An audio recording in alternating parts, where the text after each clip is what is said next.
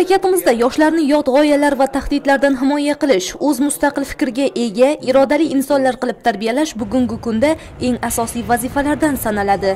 Buning uchun har bir o'g'il qiz ko'nglida vatanga o'z oilasiga muhabbat yurt uchun fidoyilik tuyg'ularini qaror toptirish yurtimizdagi tinchlik osudalikni baxtiyor va farovon hayotni qadrlashga o'rgatish juda muhim. Vatanparvarlik tarbiyasi esa umumiy tarbiyaning bir qismi bo'lib yoshlarda vatanni fidokorona himoya qilishga tayyorgarlik va bunga qodir bo'lish salohiyatini shakllantirishga yo'naltirilgan. Bunda umumiy o'rta ta'lim maktablarida yoshlarni chaqiriqqacha tayyorgarlik fani muhim o'rin tutadi.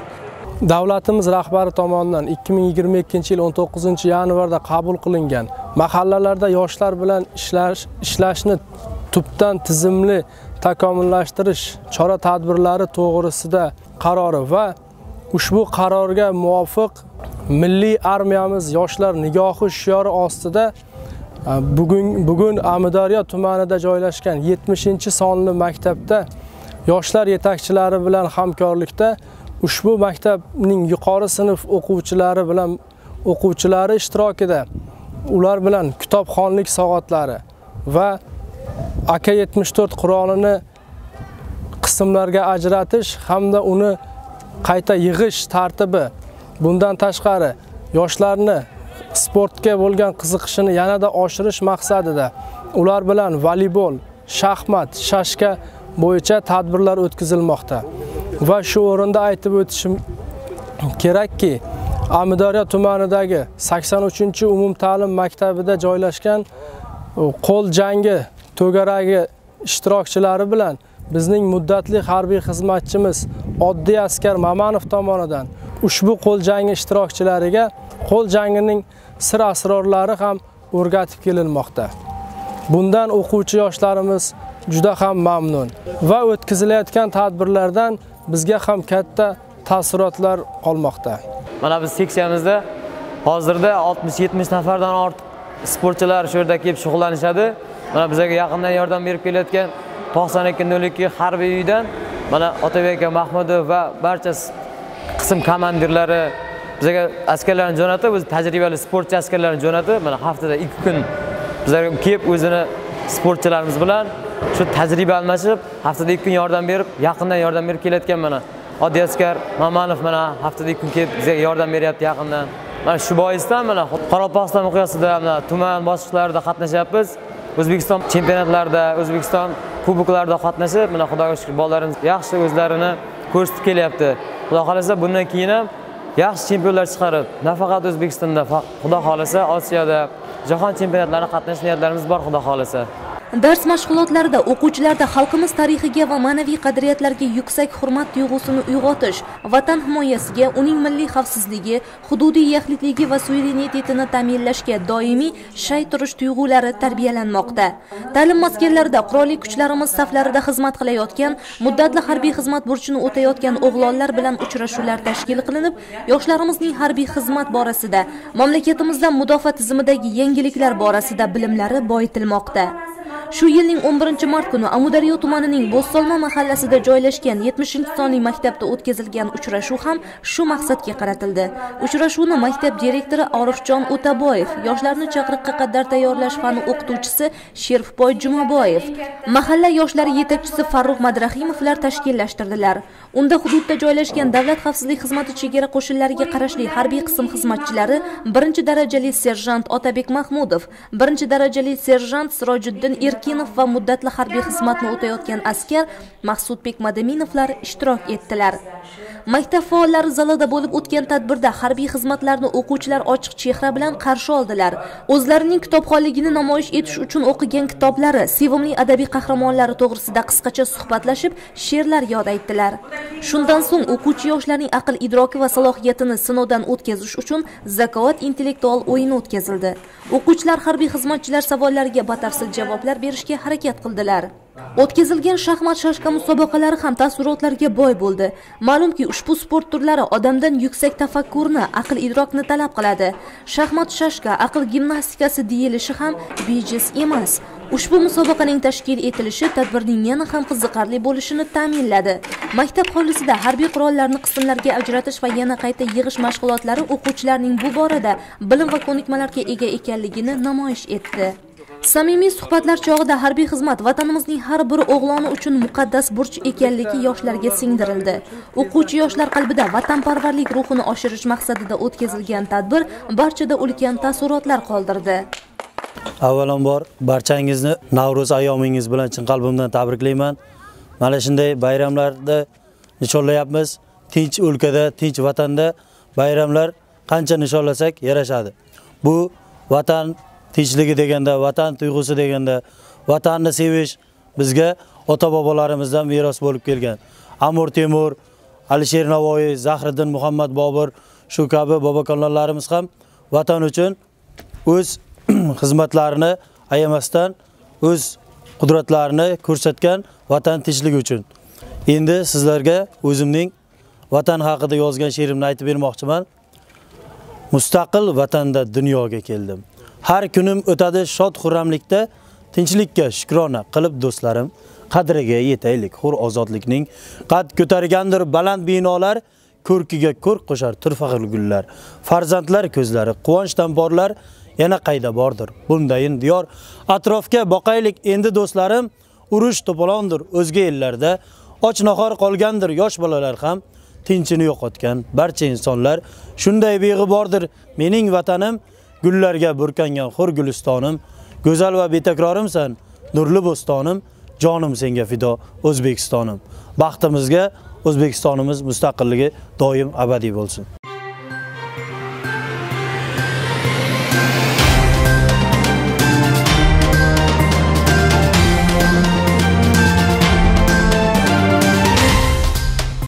Qoraqalpog'iston respublikasidagi barcha darajadagi deputatlarning faolligini yanada oshirish maqsadida 9 martdan 19 martgacha o'tkazilayotgan deputatlar faoliyatida dolzarb 10 kunlik doirasida 32 qilichboy saylov okrugidan qoraqalpog'iston respublikasi jo'qorg'i kengashi deputati sanobar xo'jamurodova xalq deputatlari amudaryo tuman kengashi deputati bahrom qodirov bilan birgalikdagi 11 mart kuni qilichboy ovulida istiqomat qiluvchi saylovchilar bilan uchrashdi. Deputat bilan uchrashuv ovuldagi qo'chqorboy nurimovning tomorqasida tashkil etilib unda qilichboy ovuli faollari va yoshlar ishtirok etdilar. Uchrashuvda deputat sanobar xo'jamurodova saylovchilarga prezidentimizning qoraqalpog'istonga tashrifi ijtimoiy siyosiy hayotdagi o'zgarishlar mamlakatimizda xususan amudaryo tumanida yoshlar va xotin qizlarga yaratilayotgan sharoitlar qishloqlarda tomorqa xo'jaligi yoshlar va ayollar tadbirkorligini rivojlantirish bo'yicha amalga oshirilayotgan keng ko'lamli islohotlar haqida gapirib berdi. Sanobar xo'jamurodova saylovchilar bilan muloqot qilish va ularning tomorqa xo'jaligini yuritish bo'yicha muammolarni o'rganish jarayonida taraqqiyot strategiyasida belgilangan ustuvor vazifalarga ham batafsil to'xtaldi. Ana shu ustuvor vazifalardan kelib chiqib saylovchilar bilan uchrashuv joyining qilichboylik mohir tomorqa yer egasi qo'chqorboy nurimov tomorqa xo'jaligida tashkil etilganiga alohida urg'u berdi. U mahalladoshlari orasida o'z halol va fidoyi mehnati tadbirkorligi bilan e'tibor va obro' topgan qo'chqorboy nurimov erishayotgan yutuqlarni yoshlarga ibrat qilib ko'rsatdi. Rasmiyatchilikdan xoli tarzda tashkillashtirilgan uchrashuvda deputat mo'jazgina tomorqadan yilning to'rt faslida ham unumli foydalanib o'zi va barcha oila a'zolari bandligini ta'minlagan qo'chqorboy nurimovning tajribalarini yoshlar o'rtasida keng ommalashtirish yuzasidan zarur tavsiyalar berdi. Uchrashuvda saylovchilar asosan dehqonchilik uchun bahorgi ekin ekish ishlarida zarur bo'ladigan bioorganik mahsulotlar yetishmovchiligi auksion orqali yer olish mikrokreditlar ajratish borasida hamda o'zlarini qiziqtirgan boshqa masalalar bo'yicha murojaat qildilar. Ovul yoshlaridan ra'no rahimboyeva tomorqa xo'jaligini yuritish uchun organik o'g'it olishni rejalashtirgani lekin hujjatlarni rasmiylashtirishda huquqiy yordam zarurligini aytib ushbu masalada yordam berishni so'radi. Uning murojaati ovul fuqarolar yig'ini yig'inida faoliyat olib borayotgan hokim yordamchisi murodjon boltayev tomonidan ro'yxatga olinib tez fursatlarda bu muammoni bartaraf etishga kelishib olindi. Shuningdek shohista eshimbetovaning dehqonchilik qilish uchun yer ajratib berishni so'rab qilgan murojaati ham shu yerning o'zida atroflicha o'rganib chiqilib auksionga qo'yilgan yerlar hisobida 25 sotix yer olishi mumkinligini va auksionda ishtirok etish tartib qoidalari to'g'risida zarur tushunchalar berildi. Uchrashuvdan keyin deputat sanobar xo'jamurodova xalq deputatlari amudaryo tuman kengashi deputati bahrom qodirov bilan birgalikda ovuldagi keksa va bemor onaxonlar holidan ham xabar oldilar. Deputatlar sakson to'rt yoshli bemor onaxon salima hayitboyeva xonadonida bo'lishib onaxonning oilasidagi muammolarni o'rgandilar va onaxonning murojaatiga ko'ra unga qarayotgan qizi saida haytimbetovaga bemor onasining parvarishiga mas'ul ekanligi to'g'risidagi hujjatlarni rasmiylashtirish va byudjetdan tashqari pensiya jamg'armasiga topshirish bo'yicha mas'ul tashkilotlarga saida hayitboyevaning bemor onasiga qarab turgan davri mehnat staji hisoblanishi to'g'risida deputat so'rovi kiritish bo'yicha kelishib olindi. Deputatlar hududdagi 15 sonli umumta'lim maktabining uyda ta'lim olayotgan 8 nafar o'quvchilari holidan xabar olishib ularga berilayotgan ta'lim sifati bilan ham yaqindan tanishdilar hamda bu o'quvchilarga mamlakatimizda ta'lim sohasida qaratilayotgan e'tibor nogironligi bo'lgan o'quvchi yoshlarning oliy ta'lim muassasalarida ta'lim olishlari o'z orzularini ro'yobga chiqarishlari uchun yaratilayotgan imtiyozlar xususida ma'lumotlar berib ularni yangi orzular ilm olish hunar egallash kuchli tadbirkor bo'lish sari ruhlantirdilar mahalliy kengash deputatlarining siyosiy faolliklarini oshirish ularning xalq orasiga yanada yaqinroq kirib borishlariga erishish saylov oldida siyosiy partiyalar bergan e, va'dalar va ularning ko'tarib chiqqan muammolari qay darajada e, hal bo'layotganligini aniqlash maqsadida qoraqalpog'iston respublikasi jo'qorg'i kengashi tomonidan e, to'qqizinchi o'n to'qqizinchi mart kunlari dolzarb o'n kunlik deb e'lon qilindi.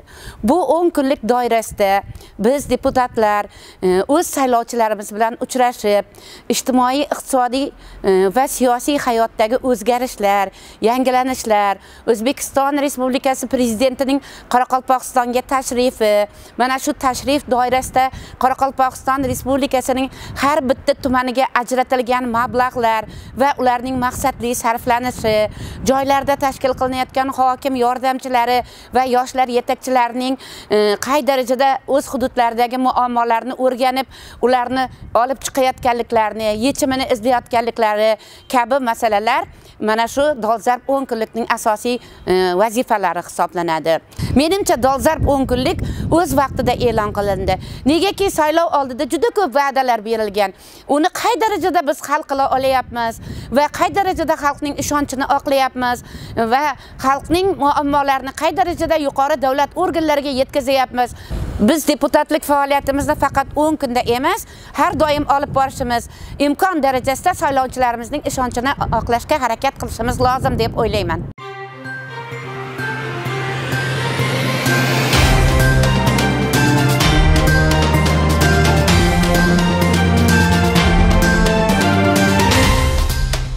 Ma'lumki 2021 yil 12 dekabr kuni o'zbekiston respublikasi prezidentining oilaviy tadbirkorlikni rivojlantirish va aholining daromad manbaini kengaytirishga doir qo'shimcha chora tadbirlar to'g'risidagi qarori qabul qilingan edi. Ushbu qarorga muvofiq 2022 yil davomida oilaviy tadbirkorlikni rivojlantirish dasturlari doirasida tadbirkorlik qilish istagidagi fuqarolarga yillik 14 foiz stavkada 3 oydan 6 oygacha imtiyozli davr bilan kredit ajratilishi belgilangan. E'tiborlisi kreditlar 30 yoshgacha bo'lgan yoshlarga mahalladagi yoshlar yetakchisi tavsiyasi asosida berilsa 30 yoshdan yuqori aholiga mahallada tadbirkorlikni rivojlantirish aholi bandligini ta'minlash va kambag'allikni qisqartirish masalalari bo'yicha tuman hokimi yordamchisi tavsiyasi asosida beriladi. Amudaryo tumanining toshqal'a mahallasiga biriktirilgan hokim yordamchisi botir norimbetov hamda mahalladagi yoshlar yetakchisi izzat qurbonboyevlar o'zaro hamkorlikni yo'lga qo'yib yoshlar bandligini ta'minlash bo'yicha samarali tarzda faoliyat olib borishmoqda. Jumladan hokim yordamchisi va yoshlar yetakchisi tomonidan xatlovlar o'tkazilib tadbirkorlik qilish istagidagi yoshlar aniqlandi. Xatlovlar jarayonida har bir yosh bilan suhbatlar o'tkazilib tadbirkorlik qilish istagidagi yoshlarga imtiyozli kreditlar ajratilishi va onlayn elektron auksionda qatnashish shartlari tushuntirib borildi. Yaratilayotgan qulay imkoniyat va shart sharoitlardan vaqtida foydalanish zarurligini yaxshi anglagan yoshlardan muhayyo eshboyeva iroda rajabboyeva og'abek yo'ldashev alisher xo'jaqov rahmatjon kenjayev doniyor qurolboyev ahmadjon ortiqov sherali ortiqovlar onlayn auksionda qatnashib g'olib bo'lishdi hamda yigirma besh sotixdan yer maydonlarini ijaraga olishdi. Bundan tashqari go'zal soatboyeva ahmad masharipov hamda maftuna omonboyevalarga to'qqiz million sakkiz yuz ming so'm miqdorida imtiyozli kreditlar ajratilib ushbu imtiyozli kreditlar evaziga mata kultivator olib berildi. Men rahimbayev umarbek yoshlar daftarchasiga keltirib imtiyozli kredit asosida shu yechirg'ich oldik. Zo'r ekan hammaga tavsiya qilaman. Prezidentimizga hakamimizga yoshlar ittifoqiga rahmat shuningdek quvonchbek ibadullayevning ham murojaatlari inobatga olinib 33 million so'm miqdorida imtiyozli kredit ajratildi va yuk tashishga mo'ljallangan mototsikl olib berildi. Bugungi kunda yoshlar uchun yaratilayotgan imkoniyatlar ko'lami har qachongidan ham yuqori. Ayniqsa so'nggi yillar davomida imkoniyat va imtiyozlar ko'lami sezilarli darajada oshdi. Yoshlarga berilayotgan bu e'tibor bugungi kunga kelib o'z mevasini bermoqda. O'z biznesini yo'lga qo'yib tadbirkorlik bilan shug'ullanayotgan yoshlar safi kun sayin ortmoqda. Bu esa o'z navbatida xalqimiz farovonligi yurt ravnaqiga puxta zamin yaratadi. Zero aynan bugungi yoshlar ertangi kunimizning egalari uchinchi renessansning bunyodkorlari bo'lishadi. Buni imtiyozli kredit asosida lifa mototsiklni oldim. Endi shu mototsiklni olib bir xalqqa xizmat etib o'zlarimizning dehqonchiligimizga ham minib yurib shunday deb yaxshi kunlarga minjaqmiz. Shu mototsikl olishimizga yordam bergan e, yoshlar yoshlar yetakchisi hokim yordamchisi hammasini o'z minnatdorchiligimni bildiraman. Men shu imtiyozli kreditga жатқа oldik buni. Ham yer surgich ham жатқа xudo xohlasa elga xizmat o'zimizga ro'zg'orga bir selpal yordam xo'jalikqa hokim yordamchisi botir aka yoshlar yetakchisi izzat aka hammasidan rahmat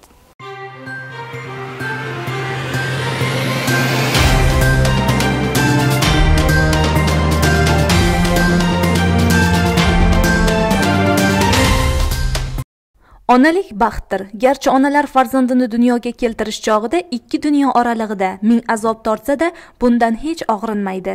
Aksincha oq yuvib oq tarab avaylab voyaga yetkazadi. Ko'ngliga ilm iymon nurini baxsh etadi. Beminnat kamolga yetkazadi. Shu boisdan ham onalar har qancha e'zozu hurmatlarga loyiq. Dunyoda eng aziz mehribon va g'amxo'r zotdir.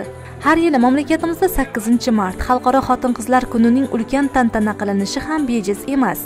Sana munosabati bilan tumanimizdagi barcha ta'lim tarbiya muassasalarida idora korxonalarda va ovul mahallalarda onalar ayollarga hurmat ehtirom ramzi sifatida tantanali tadbirlar o'tkazilmoqda. Tumanimizdagi 69 sonli umumiy o'rta ta'lim maktabida ham xotin qizlar bayrami sharafiga jannatim onam deb nomlangan ma'naviy ma'rifiy va madaniy tadbir bo'lib o'tdi.